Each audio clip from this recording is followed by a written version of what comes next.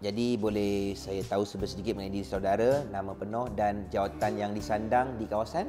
Ah, nama saya Rosman bin Talib. Ah, jawatan yang disandang di cabang Kapar adalah Ketua Penerangan ah, di cabang dan ah, reformis juga ah, dari tahun 98 lagi. Okey. Di Parlimen Kapar ni dia istimewa sedikit. Setiap kali pilihan raya ah, parlimennya berubah orang dia. Dan yang paling penting orang yang ada tu kadang-kadang uh, okeylah. Setakat ni ada yang boleh bekerjasama ataupun tidak boleh bekerjasama tapi kita cuba bekerjasama juga akhirnya. Okey, di Parlimen Kapar ni adalah satu parlimen yang terbesar di Malaysia uh, uh, mempunyai rakyat yang teramai di dalam Parlimen Kapar. Jadi di Parlimen Kapar ni ada berbilang kaum.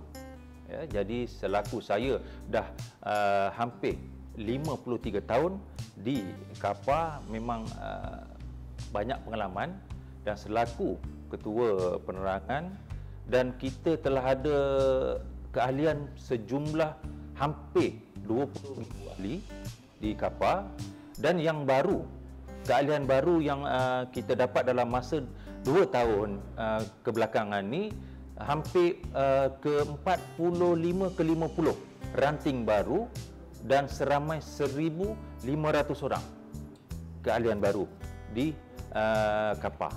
Jadi ada berapa don? Don kita ada yang pertama kita ada don Selat Kelang, uh, kita ada don Miru dan kita ada don Sementer.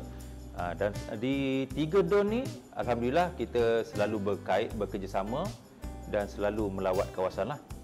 Okey, jadi uh, pandemik eh uh, ada hikmah juga kita dapat mendekati masyarakat dengan program-program kerajaan negeri Selangor yang banyak yang uh, bantuan-bantuan yang kita peroleh dan kita dapat merapatkan kita punya politik kita dengan rakyat dekat dan banyaklah program-program yang kita buat dengan hasilnya kita pun juga buat banyak program dengan KKI.